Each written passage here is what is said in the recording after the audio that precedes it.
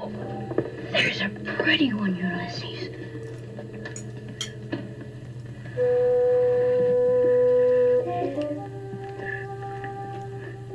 There it is.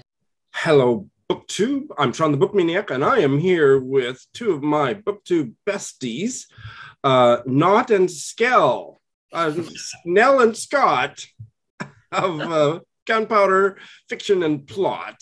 Hello, Hello. ladies and gentlemen. Hi. Hello, book the Shawn Maniac. Oh, I like that. We're into our cups as usual. This is a thing that we do on occasion. And recently, Scott and Nelle put up a video where I had given them, fed them first lines from books that I checked on Goodreads that they had read. And we did the first line challenge, but there was no reciprocation. So I'm needing some gratification here. So now the tables are turned and they're going to reciprocate. He's already tried to cheat once, so let's see if we can keep him honest. I, I'm Canadian. I have a national reputation to maintain. I didn't know that that was a stereotype. I think that the first book might be a little bit easy, but Oh, let's go you're, anyway. you're overestimating me. Whether or no she, whom you are to forgive, if you can, did or did not belong to the upper 10,000 of this, our English world, I am not prepared to say with any strength of affirmation. Oh boy, can you read it again a little more slowly? Sure, yeah.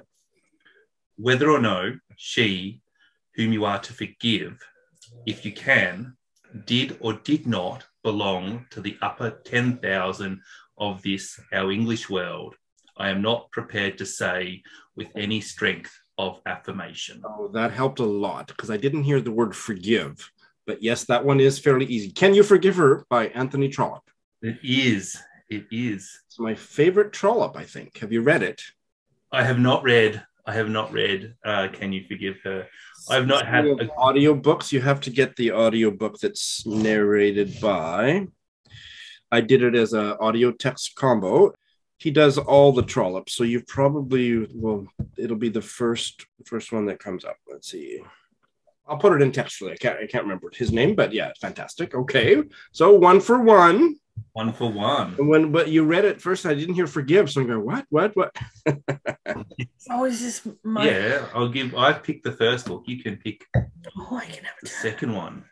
It's got the review date down the right. Oh, I can decide how mean to be. Yeah, I picked five oh, years. I was. I was going back into your prehistoric reading archive, so I've sorted it by star rating, so these are all five star reads. Ho ho. Told you. found it. I wasn't looking, so It's all right. He passed it to me like a sneaky drug deal. Yeah, yeah. If there were cops around, I would be spread eagled and against the wall, and not in the fun way. I'm sure the gesture came naturally to you. Are you ready? I'm ready. There is a lovely road that runs from Ixopo into the hills.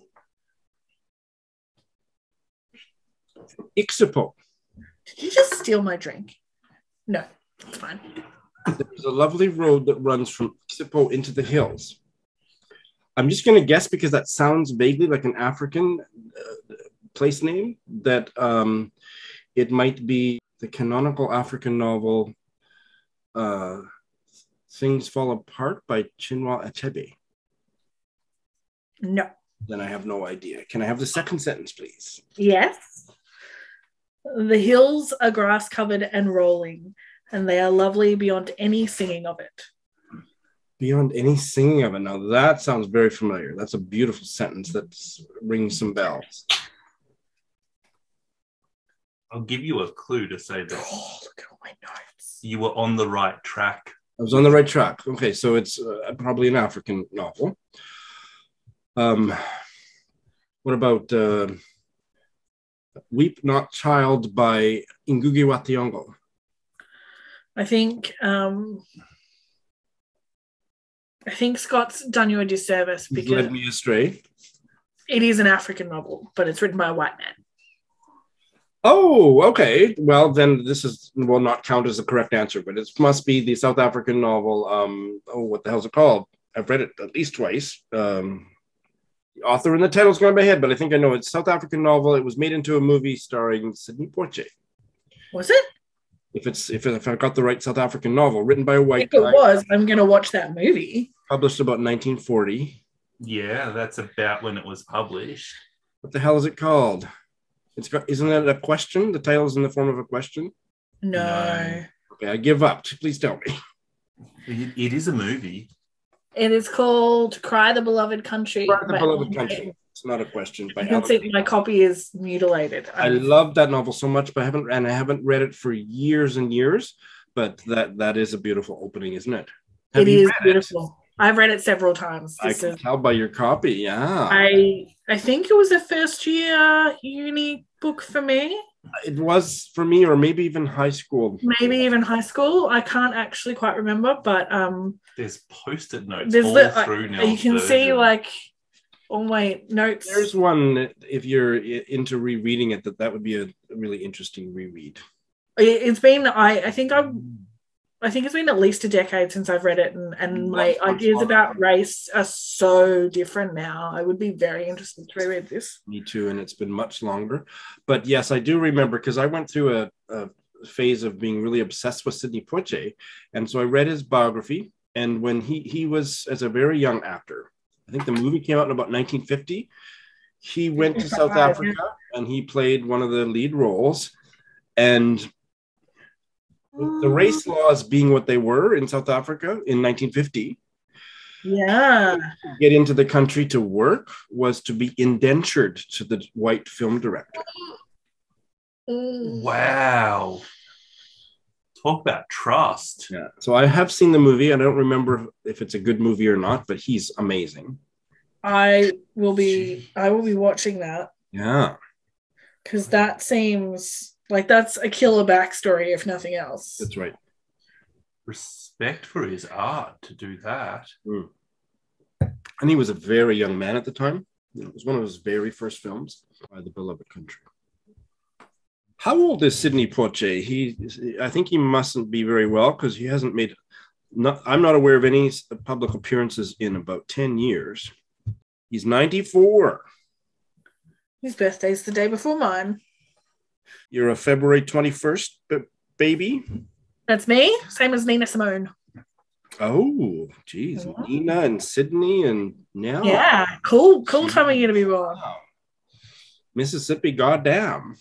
Yeah, good song. What's the next book you're going to pick up? Now, Um, oh, I'm unsure. I think tipping the velvet, maybe, or there's a lot on my radar. Um, there's I think I've got about ten on my bedside table that I've.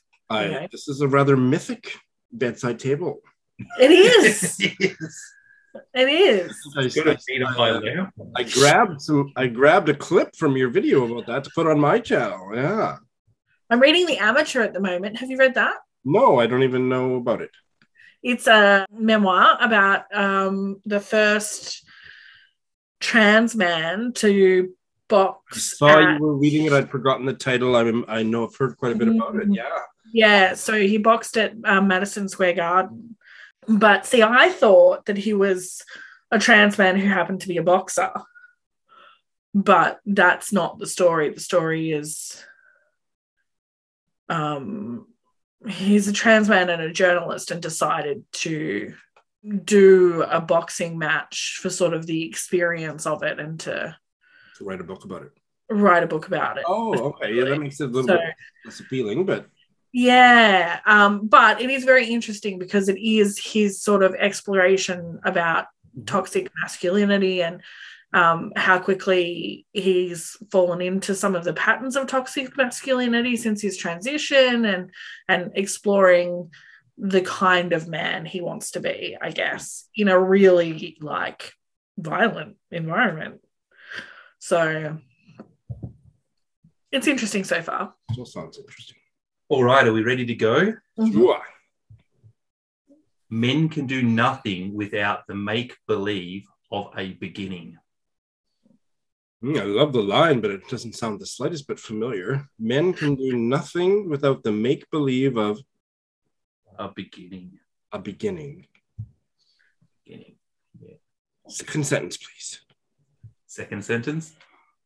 Even science, the strict measure, is obligated to start with a make believe unit and must fix on a point in the stars, unceasing journey when his side, sorry, when his sidereal clock shall pretend that the time is at naught.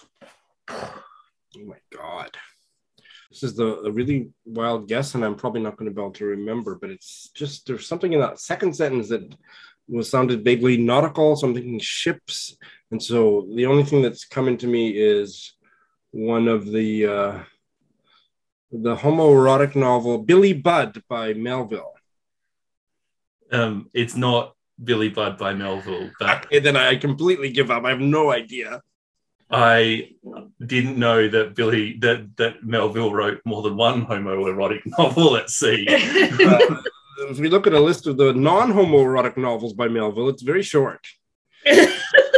So, so, uh, I mean, if that's your thing, then I suspect you're going to spend. Oh, There's one more sentence now. oh, okay.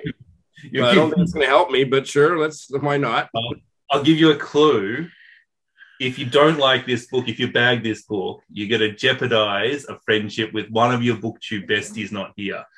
Mm. Ooh. What's the last sentence? Um, his less accurate grandmother po- poetry. Sorry, let me. His less accurate grandmother poetry has always been understood to start in the middle, but on a reflection, it appears that her proceeding is not very different to his, since science too reckons backwards as well as forwards, divides his units into billions, and with his clock fingers at naught, really sets off in medias res. I haven't got the foggiest. Apparently, I've read it. Did I like it? What was my? I'm, I'm, I'm done guessing. But what was my star rating? Four. Okay, and it, it's one of my booktube besties' favorite books. Um, uh, favorite authors. Favorite Probably authors? I would say, say, knowing that this booktuber's love of this author, it would have to be one of her favorite books too. And it's a her. It's Yeah. her. No idea. Uh, it's Daniel Deronda. Oh well, I God, I read that. I read that thirty years ago. Oh, really? oh, sorry. Oh, it's okay. It's okay. But yeah, I, it does Test sound the old like memory. George- It does sound like George Eliot very much. And I I did it for it wasn't grad school, but it was my uh, undergrad course. And uh, yeah, that was a pretty incredible novel. But I have no memory of the opening. I think it was 1991 or two or something. Well, I, I read it two years ago and I don't remember the opening sentence. The 90s are not 30 years ago. That's that's fiction. Okay.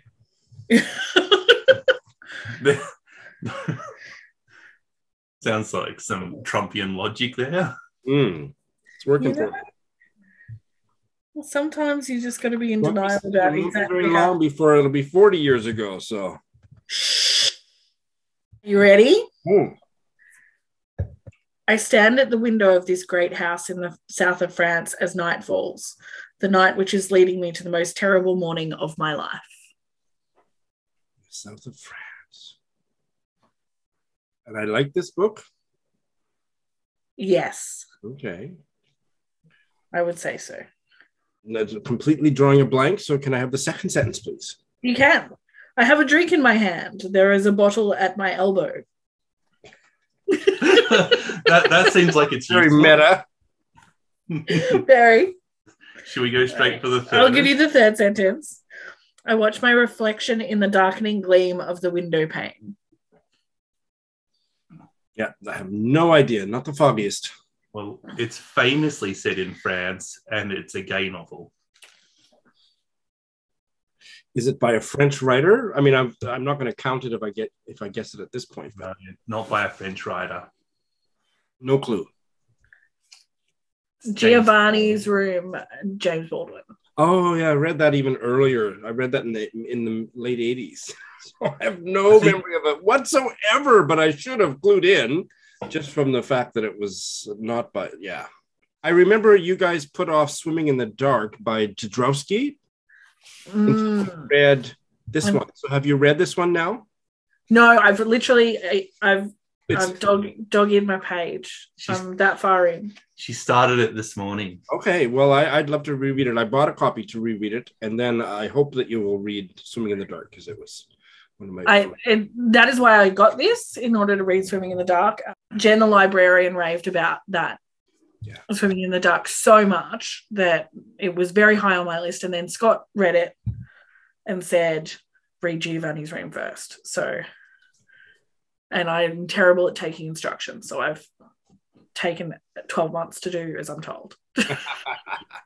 Really heavily referenced Giovanni's room, which was a problem because I read Swimming in the Dark and then I read Giovanni's room. Yeah. Um, and I just and that's Uh, interesting because it, to me, my very dim, almost non-existent memory of Giovanni's room didn't detract from my from my love for. Mm. So some people need need that more than others. Maybe I don't know. I definitely like, I like to do that when, Yeah, um, no, I do too. But yeah. I and maybe after I reread Giovanni's Room, I'll go back and reread reread Swimming in the Dark. I feel like queer queer male fiction is going through a rejuvenation because in the 90s, uh, the last 20, 30 years, it's been just crap, and suddenly it's coming back. that's awesome. Mm-hmm. Swimming in the Dark, Shuggie Bain, a whole bunch of Mm. The prettiest star. Prettiest star. Huh. Have you read any Marlon James? Is he not somebody you like, or is he somebody you Hmm? Marlon James. Is that the the guy who wrote um, the assassination of whatever brief history of seven killings? Yeah. that one? About I'm interested in him, but I'm not interested in reading his books.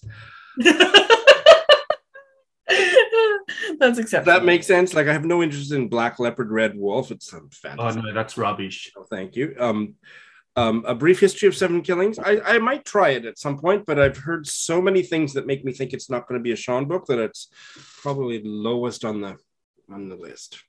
Yeah, Mm. uh, it's because if I could like edit it, I would take out like eighty percent of the book, and then the last twenty percent is all short.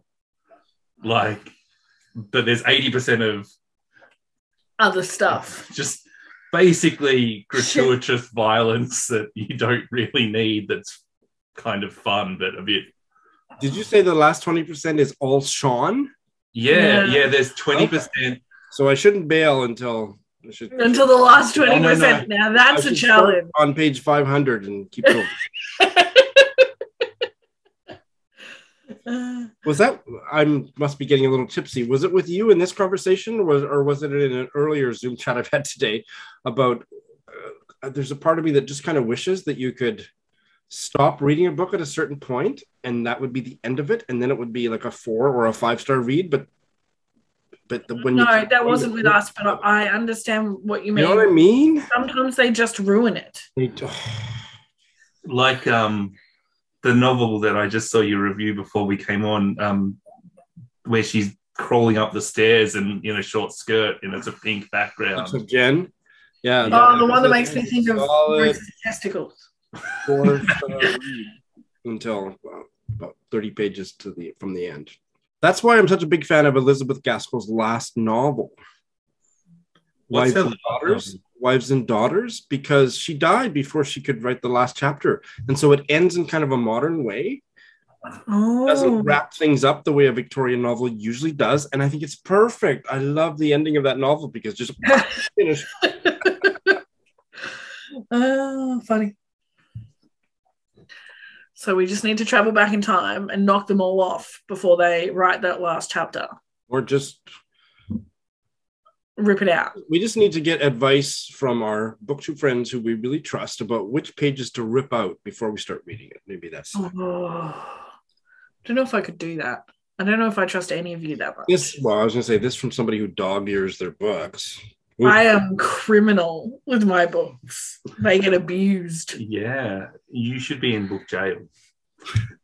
That's as long as his book's there. I Scott don't know. looks way too excited when he said that. Yeah, send her away from me. no, no, I think you want to be in there with you. just, I just believe you should be punished for your treatment of books. he says like he would be any better, No, but I- I'm terrible too. Yeah. But you know, I'm I'm terrible because I'm careless. You're terrible deliberately. yeah. All right, I have the next book. Edith, said Margaret gently. Edith. It's not very helpful. That's me. Edith is a very um, memorable protagonist's name. Edith said Margaret gently. Edith. I have a I had a great aunt named Edith. Isn't that fascinating? Edith and Roy. Are they uh, related? Edith and Roy? No, because wow, yeah, no, other side of the, the maternal great Other aunt. side of the family tree. Hmm, We'll have it all mapped out one day. yeah. I have enough Shawn stories and I'll be able to map out. whole family tree. Yeah. Life. Um, I, am gonna, gonna need so Edith and Margaret. Okay, second sentence, please. I'm not sure this is going to be much more helpful, but but as Margaret half suspected, Edith had fallen asleep. I love those opening sentences. it's interesting. I, I, would want like to read the this. book. Apparently, I have read the book, and presumably, I liked this book. Yeah, I I think you did. Um, and it sounds like it's certainly not modern. I would be shocked if um, any modern novel, like in the last 30 years, had a protagonist named Edith. Um, so I'm going to guess it's 19th or before 1950. Um, and I, yeah, I give up. I have no idea. You're correct in your assumption. Hmm. She lay curled up on the sofa uh, in the black drawing room in Harley Street, looking very lonely in her white muslin and blue ribbon. Okay, you know what? I think I think it wasn't really anything in that third sentence as much as something just clicked in my brain. Is it the E.M. Forster novel Howard's End? It's not. Okay, then yeah, I have no idea. I give up totally. I We have discussed this author tonight in the Zoom chat. Okay. Yeah, it's North and South. by Elizabeth Gaskell. Okay, Yeah. read that less than ten years ago, maybe six years ago. Liked it. I, um, I was looking at your read list and you said that's why I like Elizabeth Gaskell, and she was right there. And I'm like, well, that's Yeah, I read. I went through a stage before I really got my reading mojo back, where I um, had a lot of commutes with work and a lot of uh, waiting time in between classes that I was teaching at this university or that university in Tokyo, and I got on to free ebooks of the classics that I could get from Apple Books. I think it was called iBooks at the time. And I had a I had an iPhone, and I read a, a whole swack of Victorian literature that way on my iPhone on the train, on the bus, or in between, you know, sitting in Tokyo University grounds, smoking my brains out and reading. And I read North and South. For the, you know, my first Elizabeth Gaskell anything I'd read. Quite liked it, mm-hmm. but I don't remember it. Have you read Yeah. North and South? I have. I really like North and South. I read it for Victober last year, and I really enjoyed it. Um, I'm deeply offended that you've read the Da Vinci Code. you have obviously haven't heard me discuss that trauma. whenever I whenever I deign to mention it, I, I use the same uh, sentence every time. It was an all-time low in a lifetime of reading. Did it for a book club in Vancouver about 15 Did you then divorce all of the people in the book club and never speak to them again? pretty much. Maybe this will be the last one. Yeah. if you go to that tab, How many have I got right? Only one, right? Yeah, you've gotten close a few times. Close, but no cigar. You ready? Sure. 10 days after the war ended, my sister Laura drove a car off a bridge. My Sister Laura. 10 days after the war ended. Second sentence, please. I haven't got a clue. The bridge was being repaired. She went right through the danger sign. Oh boy, I really suck at this game. Sounds like a fascinating novel. I, I want to read it someday. Third I would say fascinating is the adjective for this novel. and Canadian. Canadian. Canadian. Oh, okay. Give me one more sentence and I might try a guess. The car fell a hundred feet into the ravine, smashing through the treetops, feathery with new leaves, then burst into flames and rolled down into the shallow, shallow creek at the bottom. Well, this is just a complete stab in the dark, which hasn't worked for me so far in this game, but I'm going to try it one more time because it's all I got. The Blind Assassin by Margaret Atwood. Well, Oh, okay. Well, it did kind of vaguely sound familiar, but I, I have no memory of Laura or the sister dying. I have no memory of that, but I love that novel and I read it. Oh my God. 1995, maybe? Oh, I think we've picked a little bit too far in the past. Well, that's because when you're doing it with an old geezer like me, I picked stuff from your past, but your your past is much more closer to the present than mine. But yeah, Yeah, Okay, I but- think one of the books he picked was probably 30 years ago when he did us, because he picked one when I was a kid. have you read um, The Blind Assassin?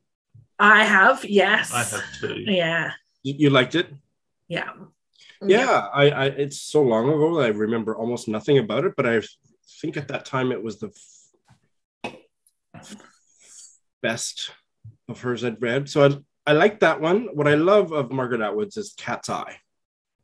Ooh, I haven't read that one yet. That's The the Blind Assassin was my favorite until I read Alias Grace. What was your favorite? Blind Assassin was your favorite? Yeah. I haven't read Alias Grace. I must try that one. Ooh. So Yeah. this was fun, guys. I'm not nearly as good at this challenge as you are. um, I had a blast. So I think we need to uh, we need to come up with a new game next time. Any ideas? Something involving redemption, Strip redemption. strip redemption. We'll, we'll work on the concept. Bye.